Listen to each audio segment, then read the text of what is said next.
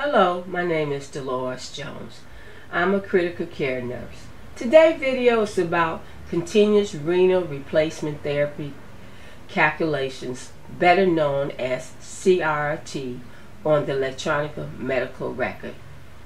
Let's begin with the time slot of 8 a.m. You will see the net cumulative I&O is minus 1,000.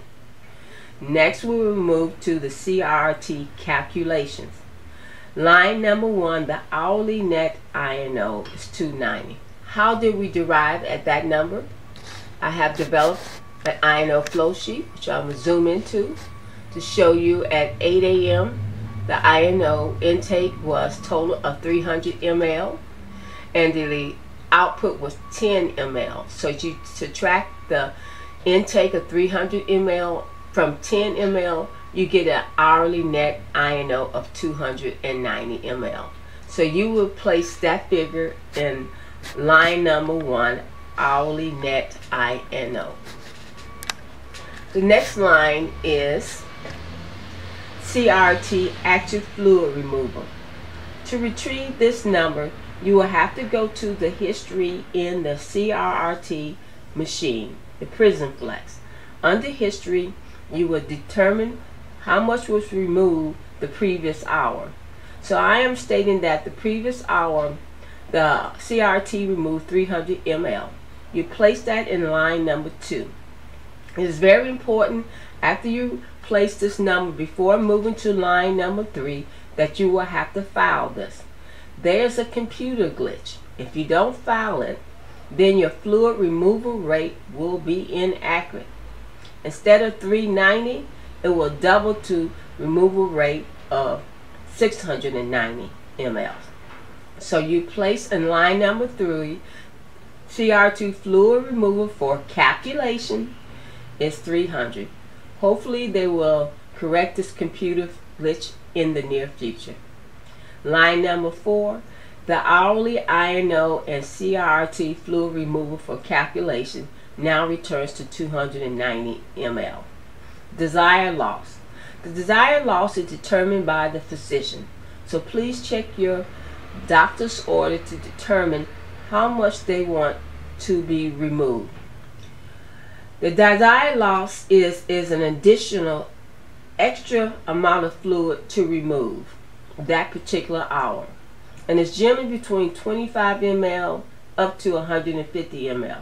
But please check your doctor's to determine how much extra fluid want to be removed from the patient. Blood and colloid to remove is zero. Fluid removal rate is 390. This number 390 is what you're going to program the PrismFlex machine under rate removal of 390. Now let's go to the 10 o'clock time slot. The net cumulative I&O is now negative 1,580. The hourly net I&O is only 130. And why is that? The reason why, if we return back to the I&O flow sheet that I developed, you would notice that the NG tube put out 100 ml that hour. And because of that, our net I&O is only 130 ml. The CRRT active fluid removal was 280. Valid. Number three, CRRT fluid removal for calculations 280. Hourly I&O CRT fluid removal for calculation is now 130. Desire loss 100. So no blood or colloid. The fluid removal rate is now 230. I would like for you now to note that at 1130 the intake and output net cumulative is now minus 1,510. And why is that?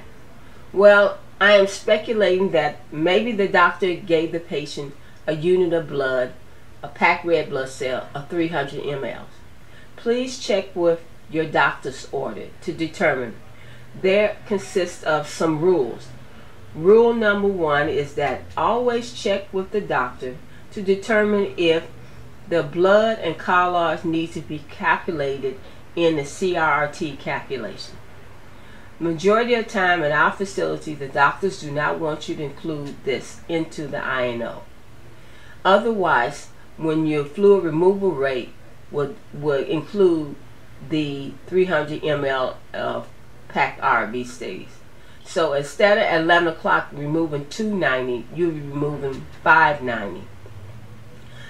And another thing is important rule to remember is that when you are calculating your intake and output, always do it at the top of the hour exactly.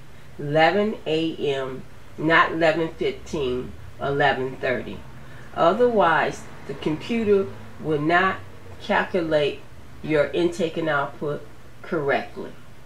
So, if you want to document blood that you give, which is very important data to share with your healthcare workers, place that the amount of blood or colloids that you receive at 11:30, and that will prevent the CRRT calculation on the computer, including this into the intake and output. Another important factor to remember is that in the intake and output calculations of the CRRT, we do not include citrate, dialysate, and replacement fluids. The Prisma Flex machine performs these calculations. I hope this video has been helpful and good luck.